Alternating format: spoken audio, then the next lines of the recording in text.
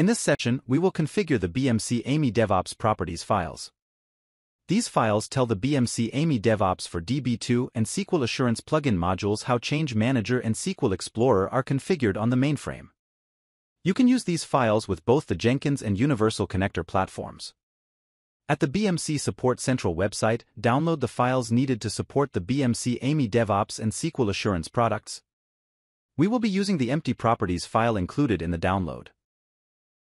Let's start by editing the properties file. Here we are using an IDE, but you can edit the file in text format with Notepad or some other text editor. The file must be saved in text format, but the file type must be .properties. You can set a max limit value to limit records of each job spool file to download to the workspace, because these files can be quite voluminous. By default, max limit is undefined, so all records will be downloaded unless you specify a value. We will keep the default setting as undefined. You can set a DS recall time value to set a wait time limit for recalling a migrated data set directly referenced by the plugin. For example, the file transmission step. The default wait time is 30 seconds, but you can set a value from 5 to 600 seconds. If the recall of the migrated data set exceeds the specified wait time, a timeout error is reported. DS recall time is used for all steps that access data sets in DevOps for DB2 and SQL Assurance for DB2. We will keep the default setting for DS recall time.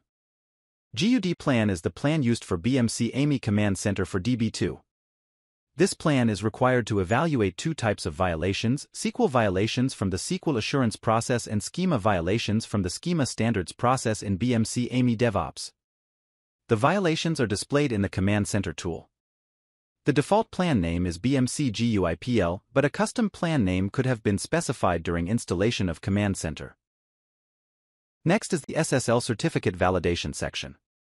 By default, our plugin modules perform certificate validation when communicating with the mainframe server.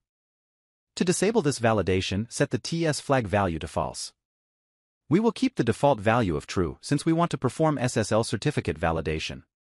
Now we will enter the account number that will be included in my JCL's job card.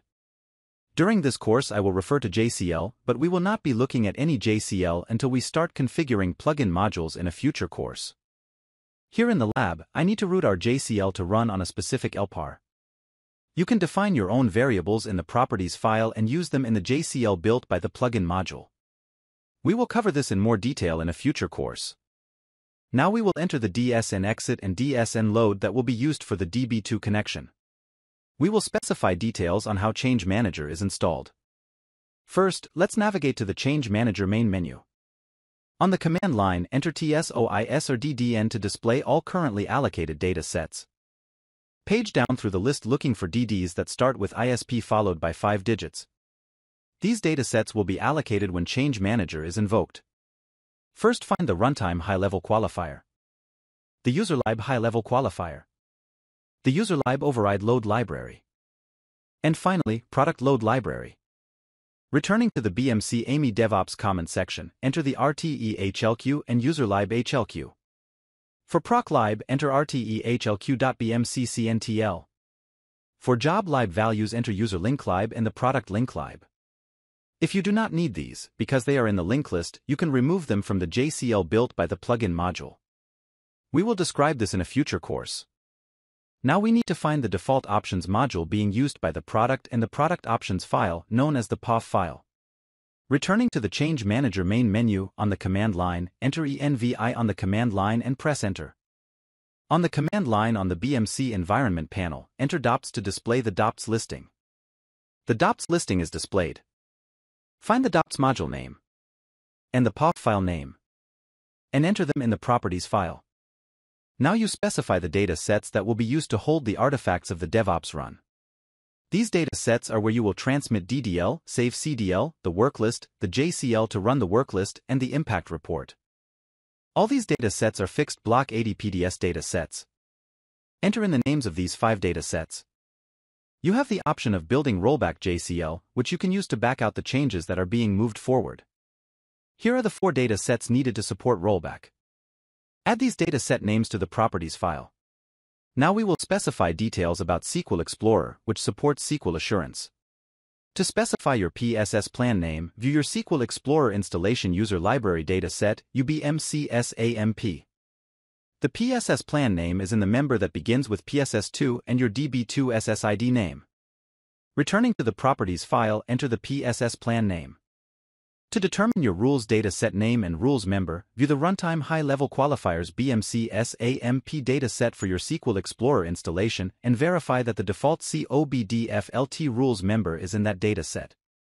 If you have to find a custom rules member, then verify that it is in the same dataset. In the Properties file, enter the rule DSN name and the default rules member. Finally, you can enter the SQL Explorer currency variable. This variable is used with explain to specify the three-character currency code for the monetary unit used to calculate the cost translation rate. The default variable value is US dollars. Once you have entered plugin property values, save the properties file. This file is now ready to use in the applications for BMC AMI DevOps and SQL Assurance. Thank you for your time. For more information about any BMC mainframe product, check the video description for links to the documentation and other related videos.